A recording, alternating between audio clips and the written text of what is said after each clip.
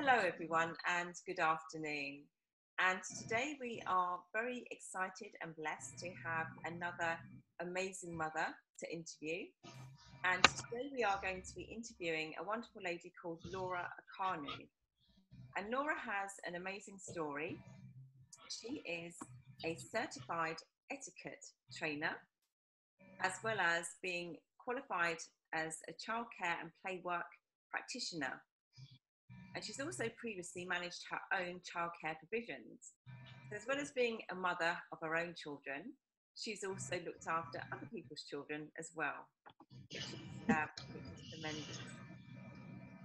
Laura is also the founder of the Polished Manners Social Skills Training and Consultancy Company.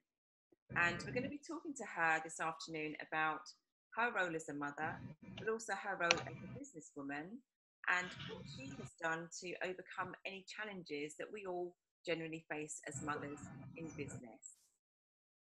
So, good afternoon, Laura. Good afternoon, Linda. Thank you very much for inviting me to speak today. I'm, I'm very well, thank you.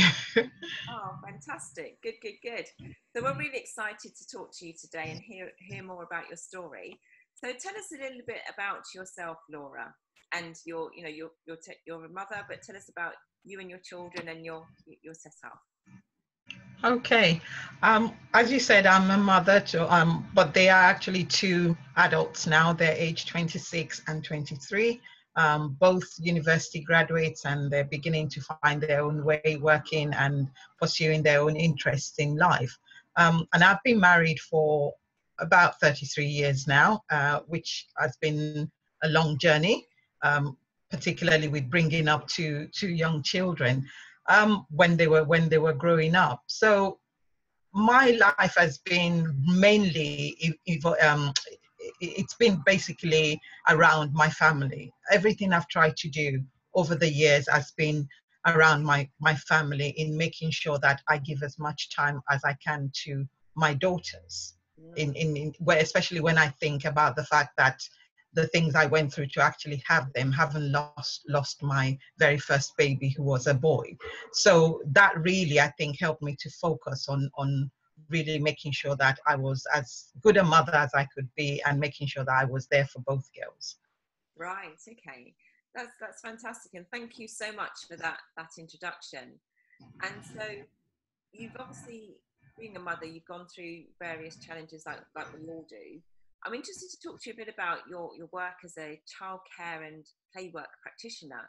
So was that at the same time as having your children or did that come when they were much older? How did you get into, into that field?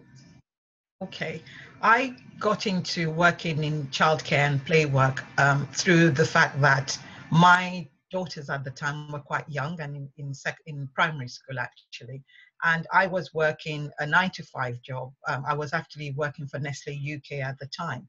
And what I found was the difficulty to manage the demands of the job with having a family and particularly having two young children.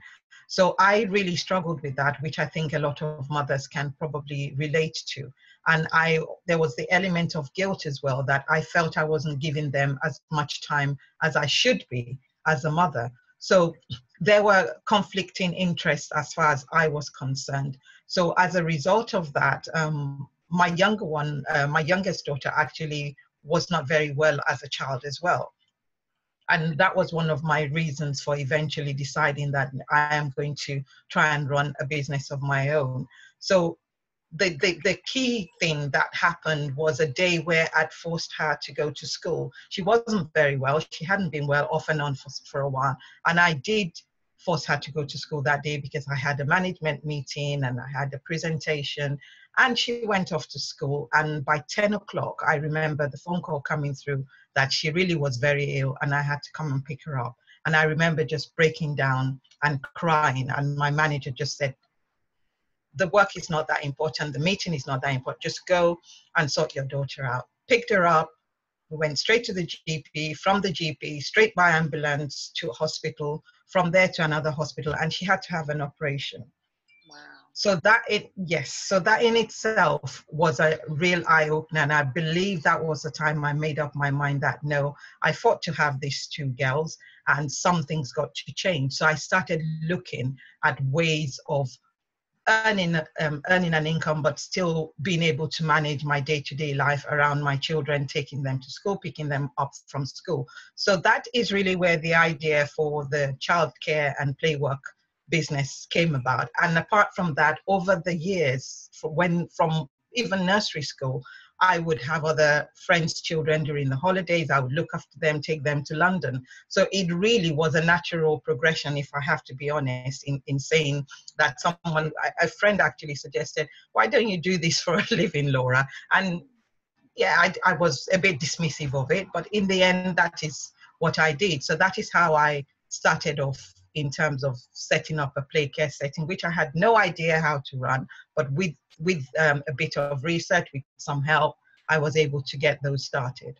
Mm, that, that's an amazing story. Thank you for that. And and obviously, when you you know when you make those sorts of decisions, you have to be very courageous because, like you said, you know you had no no experience, no knowledge of that, that nope. area, but you, yes, but you had to do something different in order to fulfill your role as a mother, but also have something for yourself and, and create a business for yourself. So that, that's, that's amazing. So thank you so much for, for sharing. Thank you.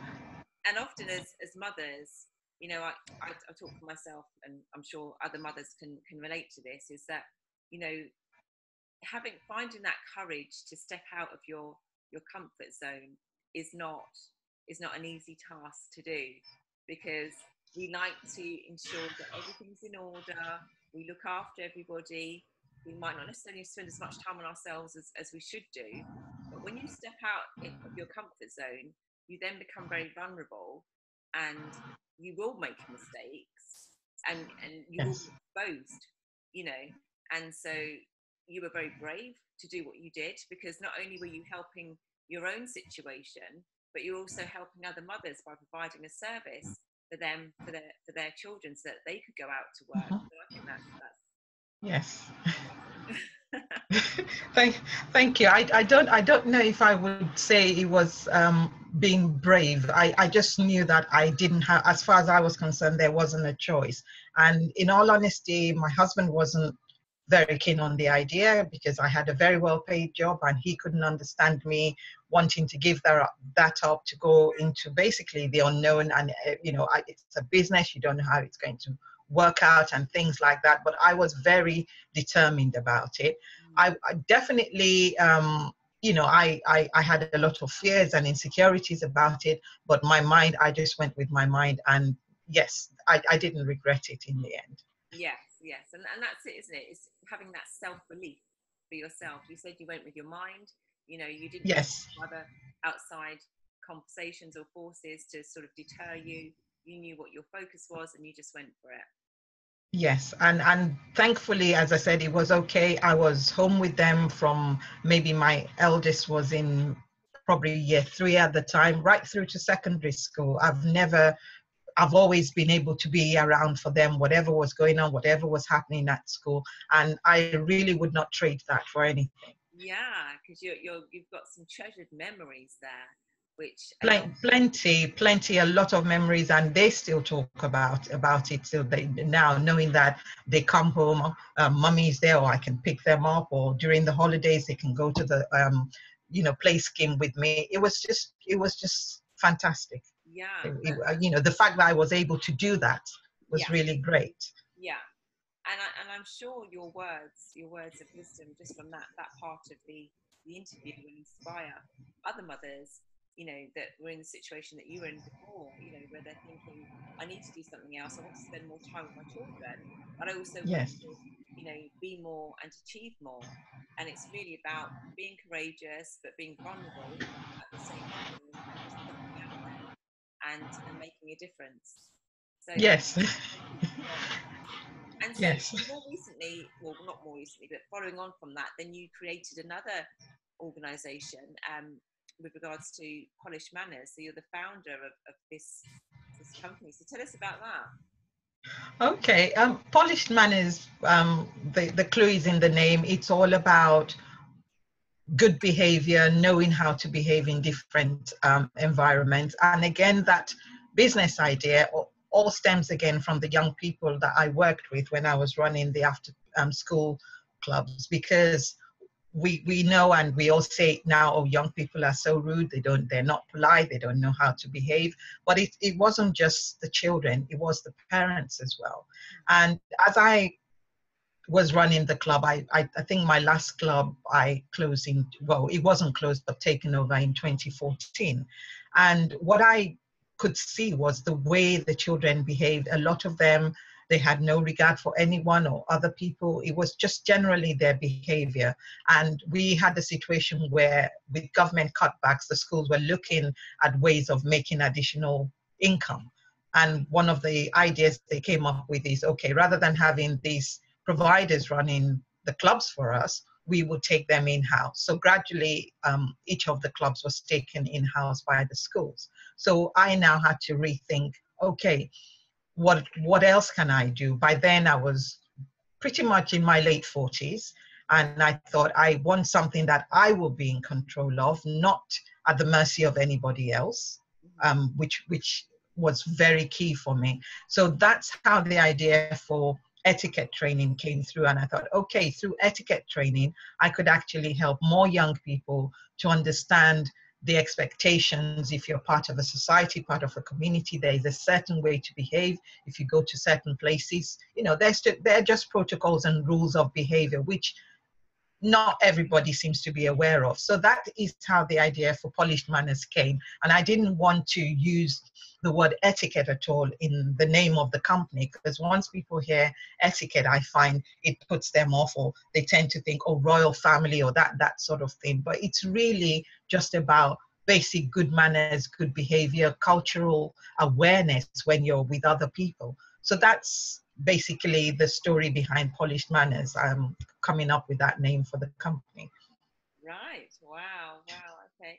And so it tracks all ages in terms of your. Yes, it yes it does. From you know young children, I would run classes for children from say about age five plus, right up to adults in, in business if they want to know a bit more about networking, when when's the right time to present your business card, um, you know, off, office attire, civility at work, what's acceptable, what's not if you're traveling and representing your company.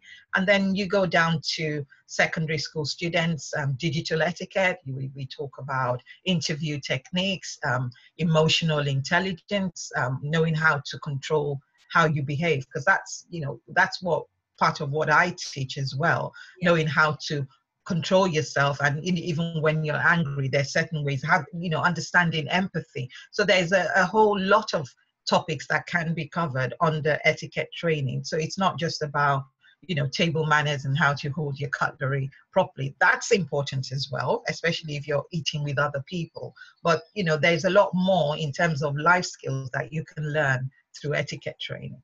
Yeah. Okay. That's that's fabulous and so, how do people get in contact with you if they?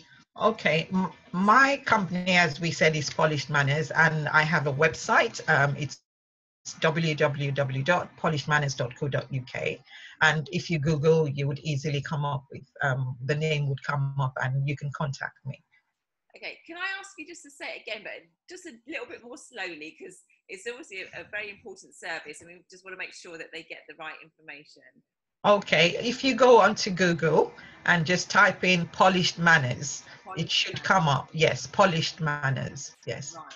Okay, that's fantastic. Great. Okay. And so the programs that, that you offer, are they day programs, half a day, or do they vary? Okay, um, I often offer one day programs, um, whether for adults or, or children. Um, strangely enough, this summer we are trying to offer a two day program for um, children up to age 11 and then for teenagers up to age 17. So we're going to trial a two day program, but normally most of the programs are one day and it's a full day and we would provide a three course meal so that we can really practice the dining etiquette element of it. And people go away with a lot of information, especially the adults. Oh, I thought I knew how to do this or I thought I knew how to do that. And so everybody learned something Yeah. from from attending a, a course. So it's really useful to everybody, not just the young people. It sounds like a lot of fun. Well, I, I certainly enjoy it, and most people that come, they do they do enjoy it because we, we it's a practical um, training, not that you're sitting down and you're just being presented. So Yeah. even we, we cover things like walking up and down a staircase. There's a correct way in terms of carrying yourself gracefully and how to sit, how to stand when you're walking. So there's so many things that we take for granted until it's pointed out. Right. Gosh, I sound like I might need some polished manners myself. I'll be glad to have you. I'll be glad to have you, definitely. Well, it- it's been fantastic talking to you, Laura, mm. and I'm sure your story will inspire others because although you said you know your children are, are much older now, they're all they're all grown up, but you're still helping, you're still helping parents, you know, within the community in terms of support. Your service doesn't just you know focus on it on a you know, like a, a technical business. It's a, it's about the family as well and, and helping them to grow and to you know grow gracefully with with greatest. So It, it, it is. It's it's a passion of mine. I really love to see young people, particularly doing well, having confidence, yeah. and it's just just really really great. I worked with a school, a group of year tens just yesterday, um, in a in a school in Birmingham, and the feedback, literally, I think is is just been the best thing for all the effort getting up at 3:30 a.m. on Wednesday morning to go to Birmingham, but the feedback was just brilliant. So things like that just really make it worthwhile to see the difference yes. it's making to to Yeah. young people's lives. Yes, Yeah. thank you so much. Well, thank you. It's been wonderful to you, and I'm sure as a result of this interview, you'll get many mothers from our community, our inspiring mothers and business community, contacting you for, for further information. Thank you very much. Okay, thank you. Okay, bye bye.